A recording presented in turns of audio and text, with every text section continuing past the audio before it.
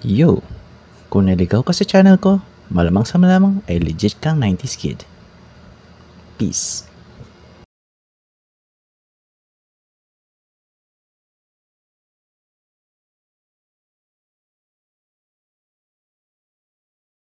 Today, um, wala natin kung ano meron dito. Well, as the title implies, alam niyo na kung ano to. And this box, this is actually a project when I was little. Um, this contains, tada, mga iniingat-ingatan ko mga text card. These are my collections when I was uh, still a kid. Way back 90s. And as you can see, sobrang alaga ko yung mga yan. Um, so I'll just show them to you. Each of my collections. Iba-iba sila actually. Assorted and yan. So, let's go. I'll just show them to you. Each category. So guys, ayun nga, nag-search ako sa Google kung paano laruin ng text card kasi nga I'm just collecting their them for fun when I was little. So, based sa Wikipedia, the game is played by tossing the cards in the air until they hit the ground. The cards are flipped upwards through the air using the thumb and the forefinger which creates a snapping sound as the nail of the thumb hits the surface of the card. The winner or gainer collects the others the other player's card depending on how the cards are laid upon the or landing on the ground. So, yun. Base sa instructions, parang malabo pa rin. Paano malalaman kung sa'yo yung card or hindi. So, kung may idea kayo kung paano siya laruin, simply comment na lang po sa video ko. And let's proceed. So, ang pinakaunang set ng text card na nakolekta ko nun, it was when I was in grade 2. That was way back year 1996. So, yun, may nagbigay lang sa akin na binigyan lang ako ng dalawang piso yata nun, or tatlong piso. And then, binili ko to sa sa may simbahan. And as you can see, never, walang crumples to mga to. Kaya lang, dahil nga sa tagal ng panahon, yung mga edges nila, nagluma na. Dahil nga tinatago ko. Pero protected to mga to, as you can see, naka-plastic sila before. And yung likod niya is, ganyan yung design. If familiar kayo sa design na yan, yan, yung ganyan design. Yan, dyan pa si Taguro. Si Dr. Ay, hindi.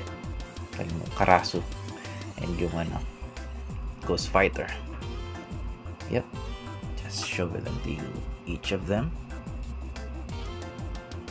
Yan. Kung meron kayong collection na to, kung buhay pa hanggang ngayon, just simply comment sa video ko. Say yes. So, again, ito yung oldest collection ko ng postcard.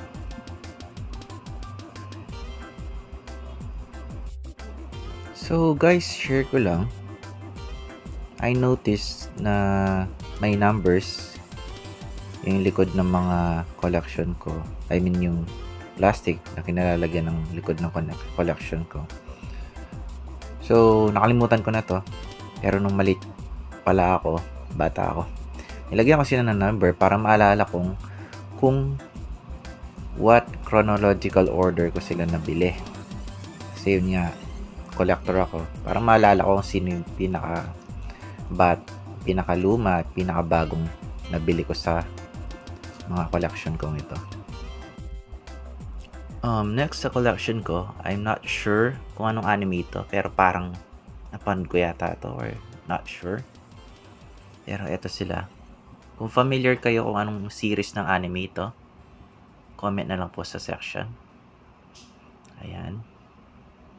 So, makikita niyo parang mga they function as like a deck of card maybe. And yung likod niya, it looks like this.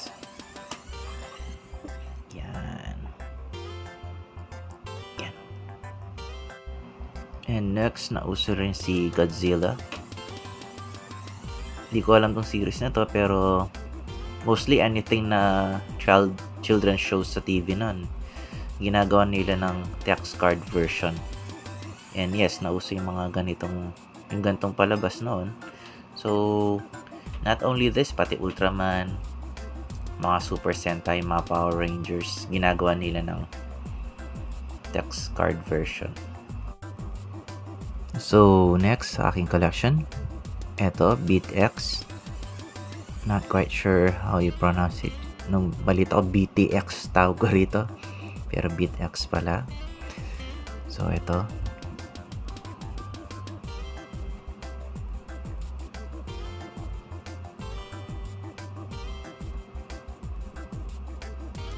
May mga good quality cards naman.